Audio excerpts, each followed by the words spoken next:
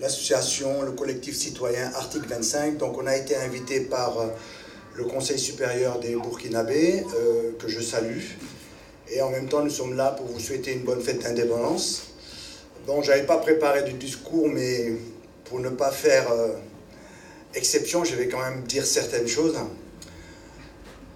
On a parlé dans les discours qu'on a entendus de faire une introspection à notre niveau propre. C'est vrai, il faut le faire, mais il faut aussi comprendre pourquoi nos chefs d'État restent toujours au pouvoir chez nous. Pourquoi ils restent toujours au pouvoir? Tout en ne faisant rien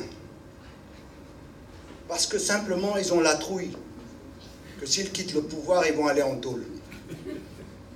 Ils ont la trouille pour leur famille. Ils ont la trouille pour les générations futures ici d'eux-mêmes.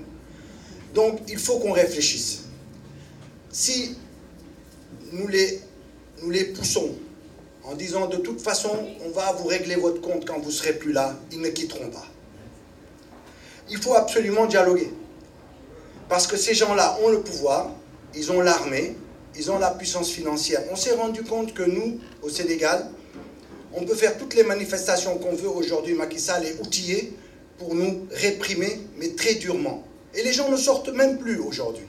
Ils disent ça, c'est une affaire de politiciens, que les politiciens règlent leurs problèmes. Pourquoi? Parce que souvent, quand la population, les gens se sont sacrifiés pour mettre au pouvoir une alternance, l'année suivante, on est déçu. Et on a laissé derrière nos familles, on a perdu des gens, etc. Et ceux qui sont au pouvoir ne prennent pas en compte ces sacrifices.